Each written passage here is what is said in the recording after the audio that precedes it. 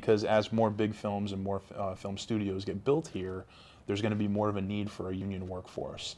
And that's what this program is ultimately for, to train these people to join the unions. And I can say we've already had one person who graduated in our first year in 2008. She's already in a professional film union now as a graphic designer. So we've already had major successes coming from this program. So Marty, um, were there at least 100 people in that first group? We had 150 the first year and about 120 the second year. Yep. Okay, but, but you said that there's one person who got a job. One That person who got into right, one person who got into a union. But we had, I'd say, I probably about 60% of the graduates of the program have worked on film projects since getting Oh, out of the oh, program. Oh, okay. Oh, that's much more So a little, encouraging. numbers are a little better that way. The unions are very difficult to get into. Okay. Yeah, it's just, you can't, you you have to really work toward uh, getting um, membership there. It's like an actor trying to get their SAG card. They will work as extras for a very long time before they get their card. So it's, it's. Oh, uh, I see. Yeah, the, uh, the guilds of the film industry, I'm sure Marty will agree, are, are not, they're not, I guess, I don't want to say they're not welcoming, but they want to make sure that you know what you're doing before they open their door to you. So it takes a while. Yep. Sure, I understand that. But with, with the independent films, so many independent films being made in Connecticut, those are opportunities for these graduates, correct? Yes, and they've taken advantage of them quite a bit. We have films calling actually before the program each year, you know, asking who the, the good graduates are so that they can use them on the projects that they're working on. Very nice. Now, now for these students, after they've gone through this, these four weeks, Mm-hmm. do, do they ever say to you, I've decided, after this four weeks, I've decided, I want to be a director, I want to be a producer, I want to be a cinematographer, I want to be a screenwriter? People have told me that before and after the program. Uh, yeah, there- uh, the the training program focuses mostly on the craft positions uh, of working on a film set, but a lot of the kids that get into this, you know, they, they have a goal that they want to do something bigger. You know, they, they want to be a writer, they want to end up directing their own stuff. So a lot of people look as the look at the training program as sort of a stepping stone to help them get there. And that's great. You know, uh, you know, a number of people have gone on to actually direct independent projects of their own, short films, web series, things like that. So there is sort of, you know, a no, there's a number of paths that you can go coming out of the program, and working in an above the line capacity is certainly among them. I imagine that this is an industry that is going to grow in, in shapes and, and sizes that we're not even able to imagine right now I sure hope so. because of technology, I think. Mm. So, uh, would you say a fair number of them want to be screenwriters, or is that not the case? I would say a good number of them want to be screenwriters, and a good number of them are already writing. I'm thrilled to hear that. Yeah. Mm-hmm. You As a writer myself, I have to say, you know, those of you who have watched the other show that I do, Page One, which is a show for writers, know that, you know, I'm, I'm a novelist, but I took a course in screenwriting that Peter Fox taught. In fact, I've taken that course several times, learned something every time.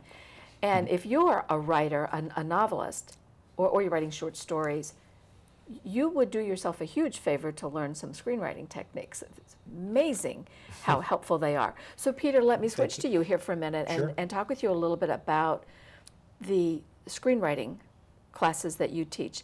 Now, I know that at you teach at the Bushnell, obviously. Yes. You, you taught your two day program in, let's see, November of 09 Yes.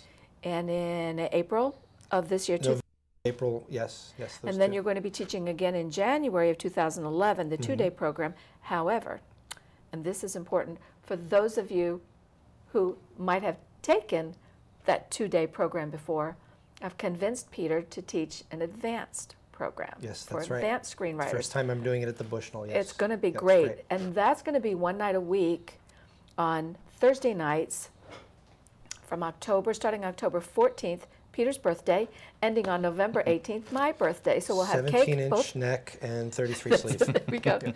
So we'll, we'll have a party on, on both ends. That'll be but, fun. But that, I think, is going to be very valuable for those people who have taken the screenwriting course and now really want to get into some, some individual Well, I think work. it gives them, I think you're right, and I think that it gives them um, an opportunity after getting the, um, I guess, the, the framework for what needs to be done.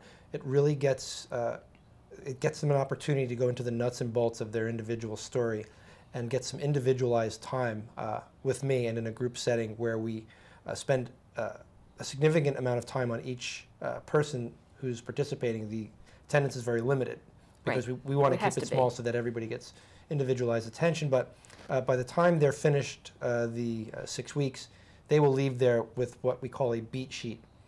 And um, from that document, the screenplay is produced. So they'll have a working beat sheet by the time they leave there. And it's recommended that they know what they're going to write before they get there. But if they don't know what they're going to write before they get there, um, we can still help them flesh out what they need to do to go to the next step. Because uh, it's really impossible to sit down and just write a screenplay from concept to execution, finished product in six weeks. There's only about five or six guys in the world um, that can do that. And uh, Joe Eszterhas being one of them, and uh, uh, Shane Black being another. There's very few people in the world that can actually do that process in that short of a period of time. From the time of original idea to the execution of the actual screenplay document. But um, it really takes about six months to a year to write a really good one.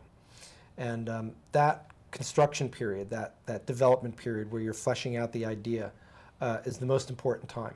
And once you've done all of the work, the actual writing of the document is, uh, is more cathartic than it is terrifying because you're not writing the document, you're not writing the screenplay as you're writing your, I should say, you're not writing your story as you're writing your screenplay, is what I'm trying to say. Yeah. The story should be already figured out by the time you sit down to write the screenplay. But this, this module gives them a really good opportunity to kind of look out for those, uh, those cliffs that they might fall off of before they go down the road. So- Well, I know after taking your course, now I've been working uh, almost, well, you know, several nights a week on the beat sheet for the Mm-hmm. project I'm working on, and it is invaluable. And, and I would take that, and who knows, I might wind up screenplay.